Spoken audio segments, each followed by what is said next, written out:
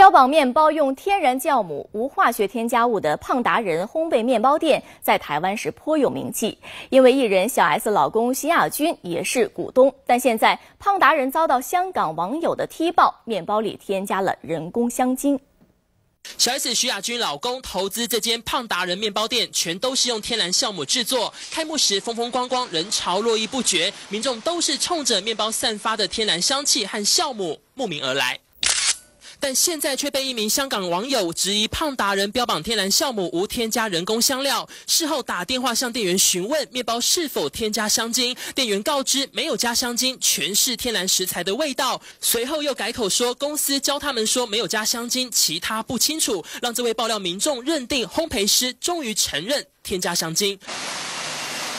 记者实际来到被民众踢爆的这间胖达人面包店，店家一开始看到镜头，赶紧拉下铁门，随后又开放给媒体拍摄。天然像我们制作的吗？对，不清楚。店员三缄其口，不愿多谈。倒是民众一听到面包疑似加了香精，直呼太夸张。如果是真的话，当然是就是被骗的感觉啊。